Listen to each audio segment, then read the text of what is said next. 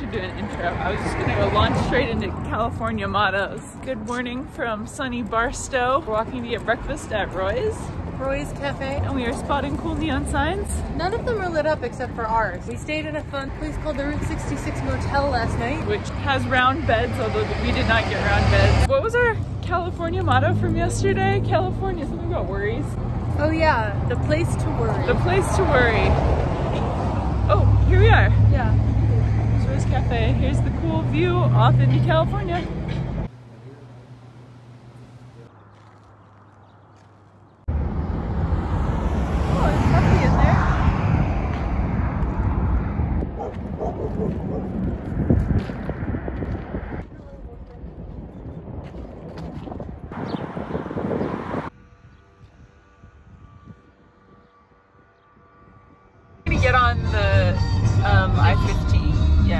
Follow signs for San Bernardino. Morning update, even though we've already had some vlogs. Today we are driving from Barstow to the end of the trail. Which is Santa Monica. Great town name. And then we're gonna go up Highway 1 to Santa Barbara. And we had a good breakfast. Roy's Cafe serves good coffee, serves good coffee mugs. How are you feeling today, Janet? You feeling today, Bo? Bo seemed very grumpy earlier. He is an old southern gentleman. Sometimes he's a grumpy old southern gentleman. I think he's recovering from his appearance yesterday at the restaurant. Mm, yeah. Social engagement's really taken out of him. Because quantum physics was just spinning up at that time, and so he thought that quantum physics was about like the overlapping of our world and like the satanic world.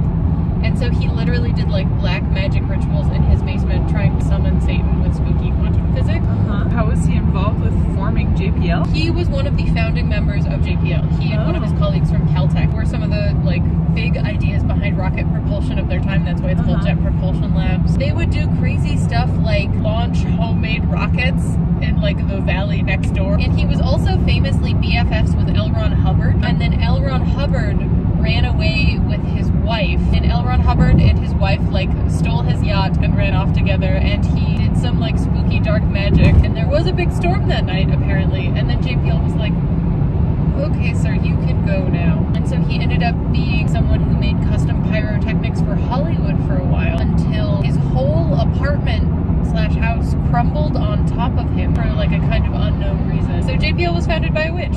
Huh. Half, half founded by a witch. The more you know. Ooh, El Cowboy. San Bernardino. Here we are. We made it to the last stop on the song. I think that what he's saying is that society is harsh and cruel and full of lies. But Paul McCartney and his monkey are untouched by that. And they remain naive mm. and true. And they have nothing to hide. Is that why their outside is in and their inside is out? Maybe. Actually, that was a pretty good interpretation. I should write for Rap Genius. You should contact. Whack. He got fired from Rap Genius, didn't he? I think I so. just can't go on the vlog. We can bleep out his name with quacks. Whack. I'll use that soundbite. We are in the valley. Look at these beautiful mountains that we're driving. Oh, is that why it's called the valley? Because it's in a valley? That would make sense. That is how valleys work. To our left, we are going to pass Vince's spaghetti. That was Vince's spaghetti. There's the magic lamp. It's Here's the giant out, alert magic lamp. Careful. It's fine.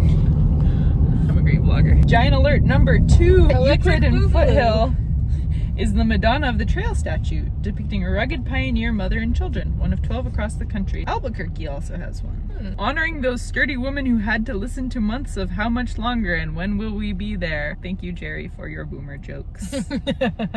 From the back seat of the covered wagon.